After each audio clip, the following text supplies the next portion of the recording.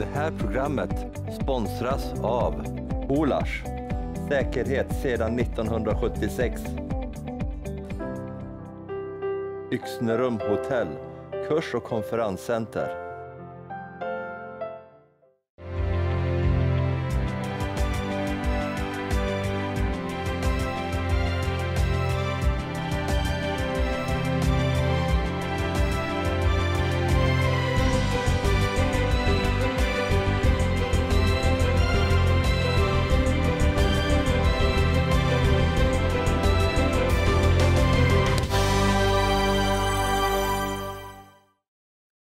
Välkommen till eh, TV-arken.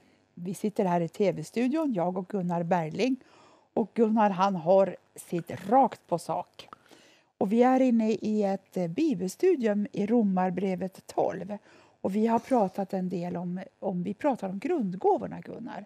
Ja. Och eh, vi fortsätter, vi tar upp tråden. Ja, där vi slutade förra programmet. ja och vi, vi är framme vid att eh, vi talade sen- senast liksom om det här med det profetiska liksom, och eh, den, den grundgåva som, har, som gör iakttagarens gåva kan vi säga, den som har förmågan att, att se saker, både hur de är och, och eh, förmågan att se också vad de leder till.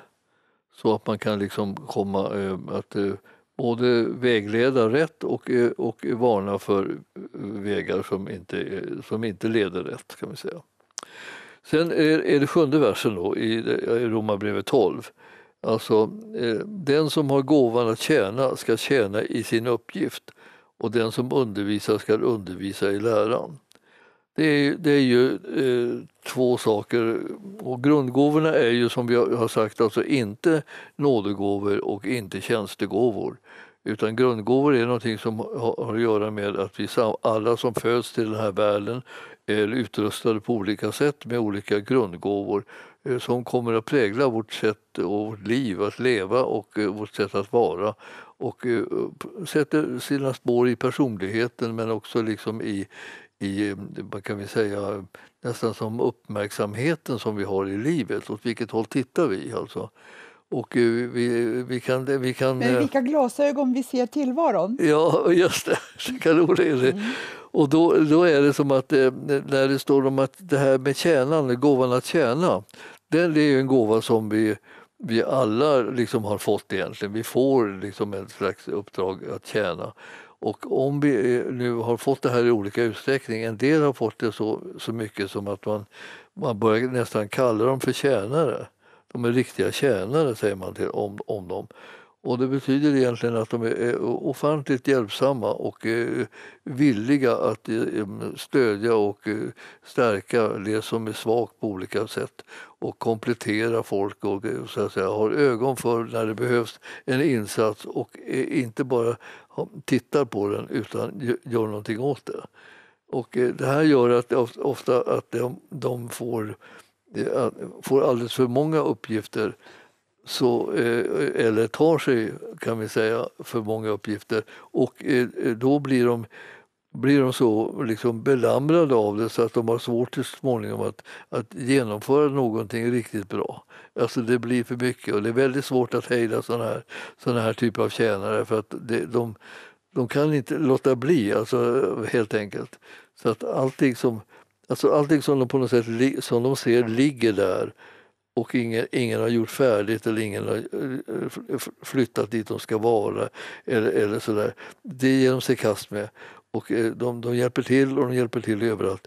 Och eh, för att man ska kunna eh, bli till välsignelse som tjänare så behöver man liksom se att man behöver ha en viss koncentration på det som man håller på med och man behöver ha en begränsning i vad man lägger sig i skulle jag säga. För, att man, det, för omgivningen ser det ut så småningom som man börjar lägga sig i allting när man vill gå omkring och tjäna. Och det, det, det, det är liksom ett litet, eh, lite fulare uttryck för den här typen av tjänst. Att man lägger sig i det. Och det är därför att man, man, man, folk tycker "Nej, nu, nu får det räcka, det behöver inte vara överallt. Nej. Och det är så. Och, Alltså- eh, och, och, och det, det, ja, men, ja men säger de, det är ingen som har gjort det, ingen som har skött det här, ingen som har gjort det. Ja, men vi, vi vill att det först och främst tjänar med de här uppgifterna. Så en tjänare då, när man är ut, riktigt utpräglad tjänare, behöver ha någon som säger vad är det jag ska tjäna med för någonting och vilket omgift, område ska jag ha? Så att inte det hela liksom blir att liksom alla blir jättetrötta på att vem är det som har hållit på med det här? Det är den här personen igen då. Därför att den har liksom sett ett behov och sett en brist och den har gripit in och, och, och en annan behöver bara vända på klacken för att hämta en sak så plötsligt har den, har den där lagt sig i det där och, och fixat det. Och ibland blir man inte glad över sådana saker därför att det inte riktigt blir reglerat och man behöver få hjälp att reglera det här. Alltså jag skrattar så igenkännande. Ehm, jag tror det är 20 år sedan. Då, ehm, jag känner igen mig lite grann, både privat och, och arbetsmässigt så var jag i en sån situation. Det blev för mycket. Ja. Och eh, jag blev sjuk. Mm.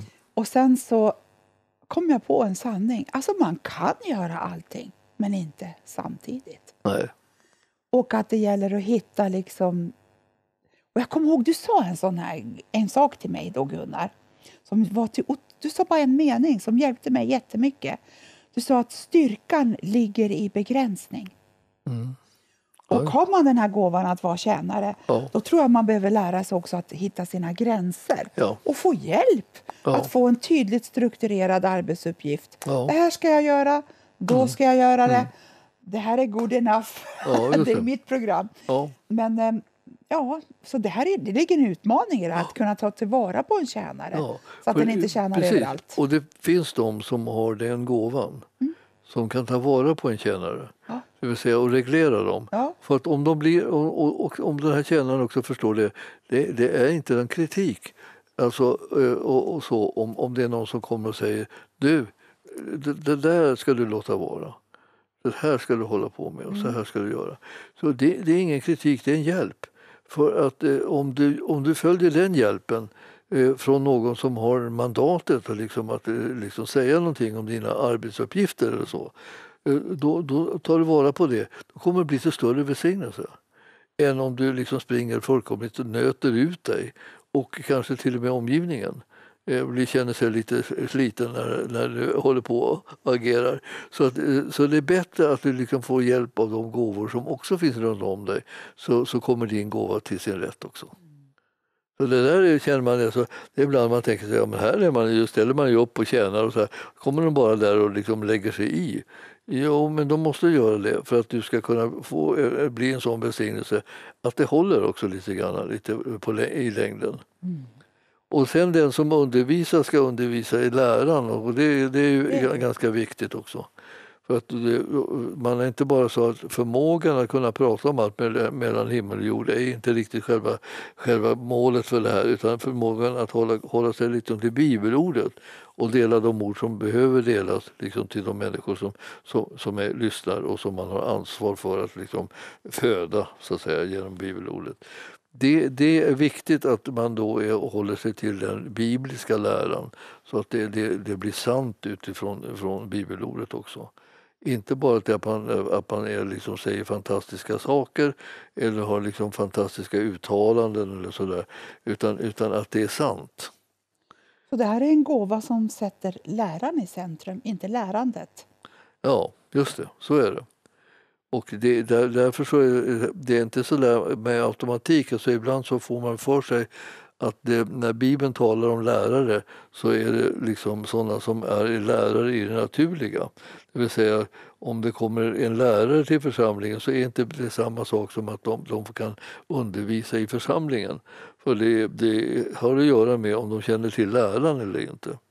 Och, och har de smörjelse för det här också behövs ju ett, ett, så att det blir ett slags intresse eller det blir en öppning i människors liv så de börjar kunna ta emot det och känna att det, det här förvandlar mig. Det här, det här liksom får mig liksom öppnade ögon för liksom vad som är sanningen i ordet och det här får mig liksom att få kraft liksom till att, att genomföra det som är, ordet talar om, att det är den rätta vägen som vi ska gå på.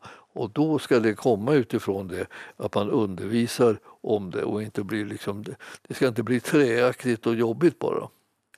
Alltså en person som har den här grundgåvan, alltså nu pratar vi inte om lärargåvan i församlingen. Mm.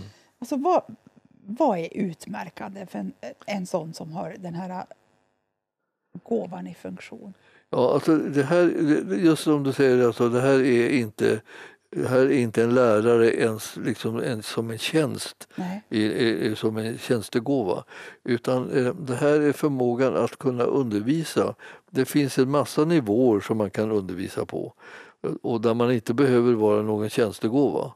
Och, eh, och, och det här är, så här är inom olika grupper. Man kan undervisa, man kan ha liksom, eh, använda det i sin bönegrupp eller hemgrupp eller sådär. Och man, kan, och man, man kan också använda det liksom i söndagsskolan eller bland ungdomarna. Och, och eh, Man man kan kan, skriva- använda det i bibelstudier och sådana här saker. Man kan skriva pedagogiska städinstruktioner. ja, det är väl inte riktigt det som är avsikten men, men, men, eh, men det är också en välsignelse att det, att det finns någon som kan göra sådana saker. Men det här med liksom lärande, så det finns mängder med områden där man liksom kan uttrycka liksom en, en, en, en, en gåva att lära och att undervisa, att instruera liksom människor i hur de ska lösa saker och ting, hur de ska eh, komma in i det som är Guds vilja på olika sätt. Och eh, det här är, eh, är de duktiga på det här så, liksom, så innebär det ofta att människor liksom gärna håller sig inom hörhåll. Det, är- det, är liksom, det, det- är en slags reklam ska jag säga, för gåvan eh, som, som, som bara fungerar med automatik.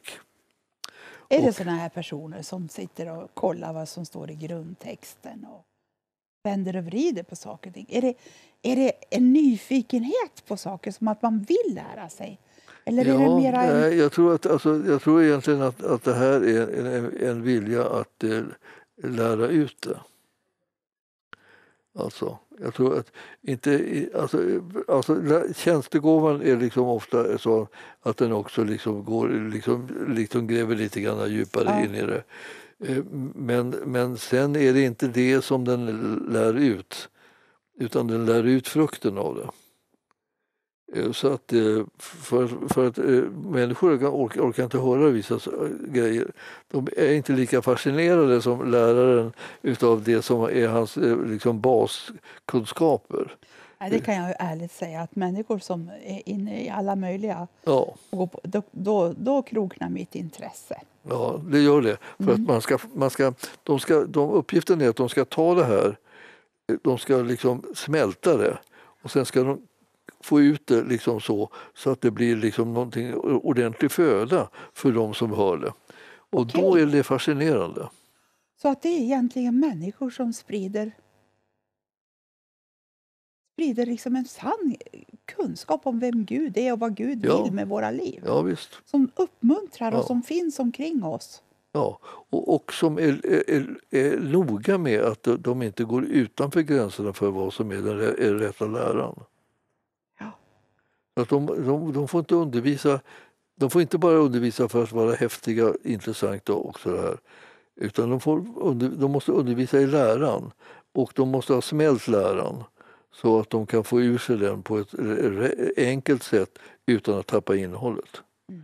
Och det där är liksom att det- är som, ett, det är som är ibland ett språk. Alltså, eh, jag, jag, jag fick, Herren sa, sa till mig vid ett tillfälle när jag satt i, liksom i, det militära eh, Eh, och, ehm, och det var, och låg på en lucka där och, och, och där, där var vi ett, ett, kanske 12-15 personer som, som, som levde tillsammans på den där, i det här rummet då, där hade vi våra sängar.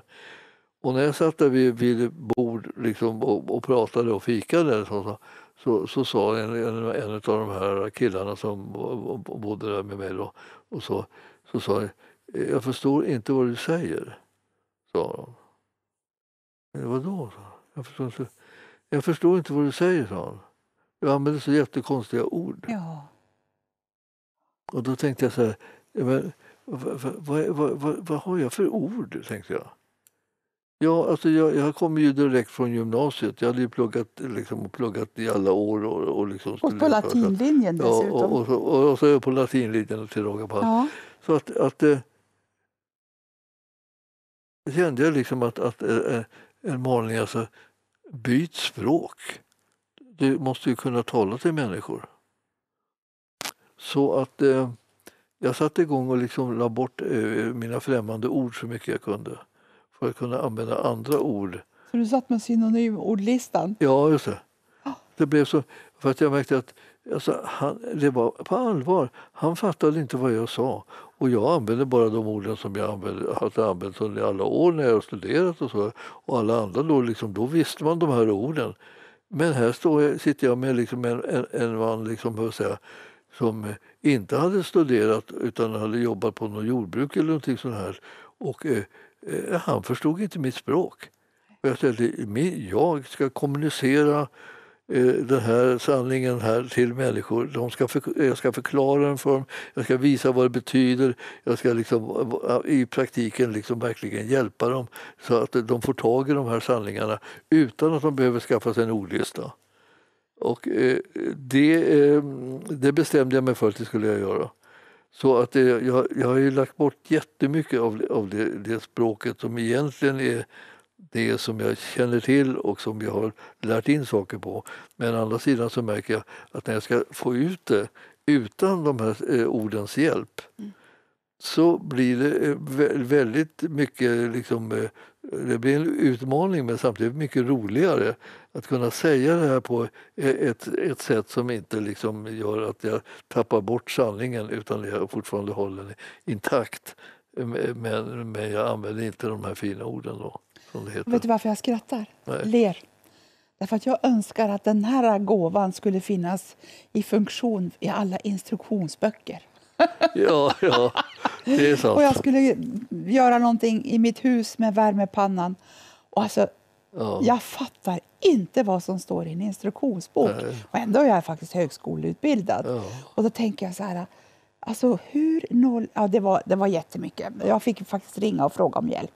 Ja, alltså det, det, Men det, får här är en otroligt välsignad gåva om den finns i funktion. Människor som kan förklara, styra upp saker och ting på ett språk som man förstår. Ja. ja, det är det. Och jag tror att liksom en lärare har den uppgiften. Inte den andra uppgiften som man ibland märker, att där de liksom gör sig liksom märkvärdiga med att använda så många främmande ord som möjligt och eh, tala på, på ett sätt nästan som ett fikonspråk. Bara för att de vill liksom visa att de är liksom duktiga på något vis. Jag tycker de är misslyckade. Jag, jag känner liksom att jag, jag skulle inte vilja liksom, jag skulle inte vilja ha ett uns av det där. Utan det är min strävan är liksom att det ska kunna komma ett budskap som är liksom möjligt att fatta. Eh, eh, Alltså sen finns det ju en fråga om uppenbarelse också som man behöver hjälp med både som den när man ger ut det och den när man tar emot det. Eh, men, men, det är ju liksom en Guds avdelning. Men den där andra är min. Jag ska inte göra mörka innehållet liksom i budskapet. Alltså det finns ju ett lysande exempel på, från, från den profana världen. En människa som nu är bortgången, det var Hans Rosling. Alltså han kunde ju förklara statistik. Vad att det han? blev, han, han, det, han, han jobbade med, han jobbade med, med världsanalyser, Okej. fattigdom och sånt. Och han, Ja. han, så han kunde presentera statistik så att det blev fruktansvärt underhållande Ja. och intressant och utvecklande. Nu har han ju gått bort ur tiden. Ja, ja, vet jag vet. Just det. Ja. Ehm, Men mer av den här gåvan. Ja, ja, Mer av den här gåvan som gör tillvaron begriplig. Alltså man måste som ju håller sig till den man måste kristna våga läran. Mm. göra det här. För att jag menar, eh, för att det är ju så att, att det kan ju låta som om man då egentligen inte liksom förstod ämnet. Bara för att man förklarar det med andra ord för, eh, än för de som är experter. Så, för för man, man, man, har, ha- man har fått det förklarat för sig själv en gång genom experterna. Och sen måste man översätta det så att man kan förklara det för, liksom, för folk som behöver det här för att de ska ha någonting att leva av som gör, stabiliserar deras andliga vandring och blir till välsignelse för dem. Och det är det som är uppdraget. Men alltså nu så är det så här att om man kan förklara saker och ting begripligt för människor då ligger det väldigt mycket jobb bakom det. Ja, det gör det. Och för att man måste ha förstått det själv. Och då hittar man faktiskt de andra orden för det. Jag har sysslat med det i olika forskningssammanhang.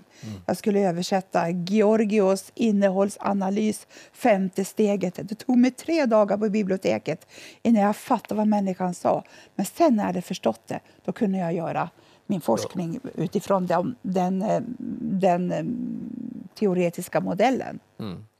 Ja, så där, sånt, där, sånt där är ju liksom, det liksom öppnar ögonen för en.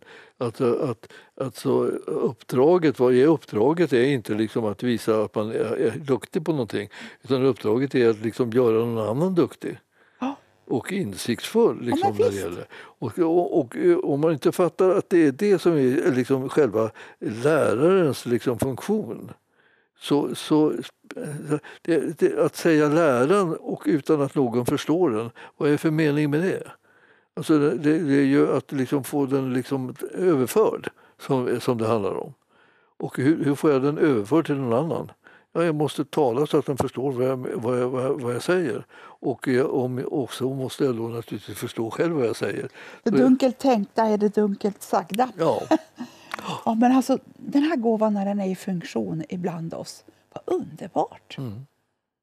Tänk att kunna, då skulle jag, till och med jag som inte begriper saker och ting, kunna gå till någon och säga kan du förklara det här för mig? Jag, jag förstår faktiskt inte Ja. det här. Ja, visst, och det, jag menar, de, de, de måste ha den här funktionen istället för att de blir kryptiska. Ja. Och de, de blir kryptiska, då, då är det på något sätt som att de, de enda målgrupp de har är att, liksom framställa själv sig som djupa.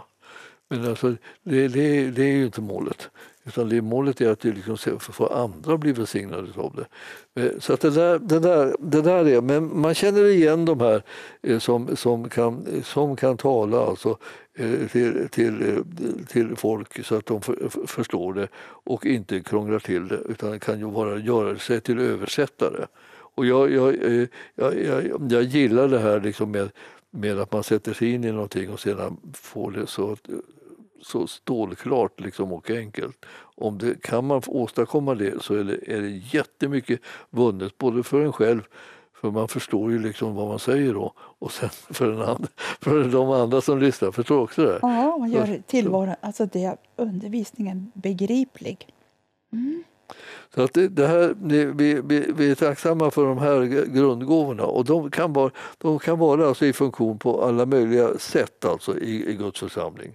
Och, eh, och, eh, och de är även först naturligtvis utanför för det här är ju sådana här gåvor som, som, som finns liksom nedlagda i alla människors liv men de, där de kan liksom ändå var- variera liksom på vad de kommer att beröra i första, första rummet.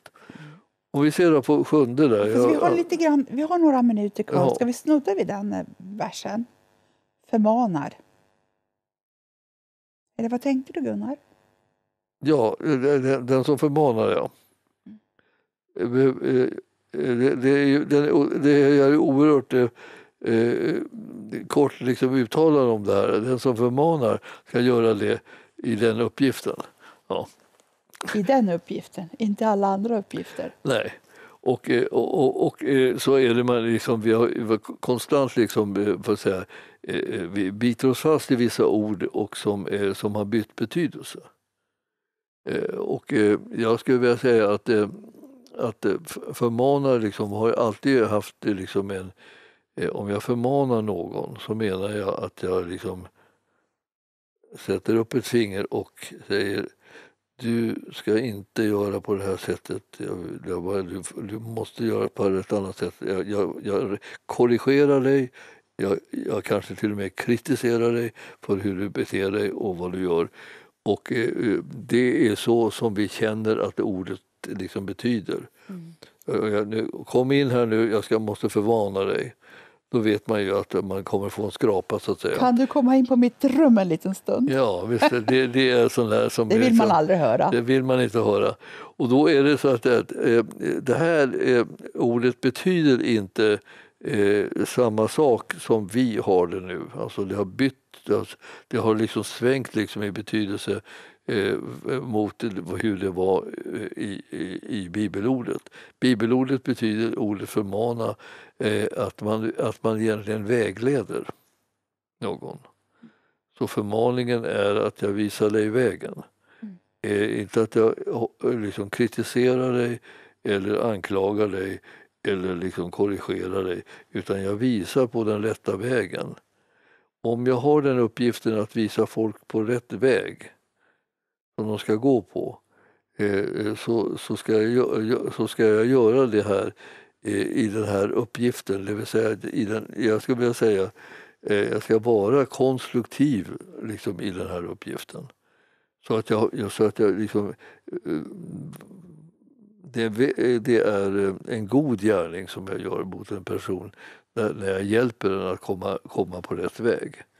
Ja, jag tänker att det här är liksom till hjälp för oss om vi har människor som håller sig i den uppgiften. Mm. Och som vägleder där man är satt att vägleda och inte överallt annars. Nej, just det. Gunnar, det här, är, alltså det här är ju jätteintressant. Nu har vi bara hunnit med några gåvor. Ja, vi, alltså vi, vi måste ju... göra ett till program om det här. Ja, ja, vi får göra det faktiskt. Det här är, det här är nu åttonde. Vi har bara tagit första raden i den åttonde.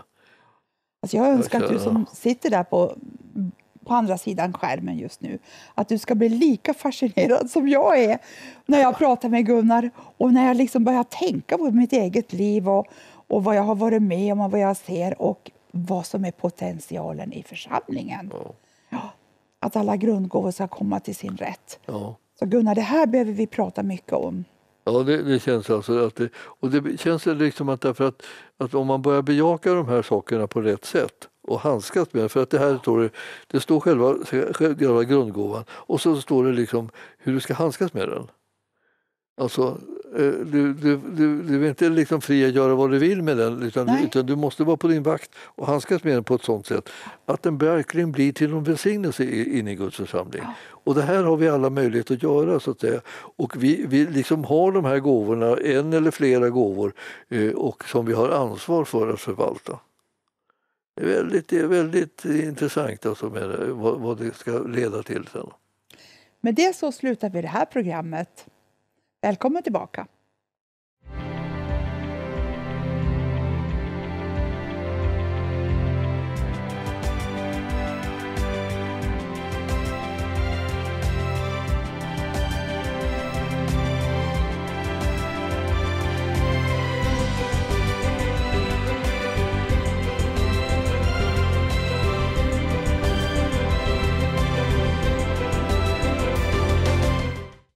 Programmet sponsras av Olars, säkerhet sedan 1976. Yxnerum hotell, kurs och konferenscenter.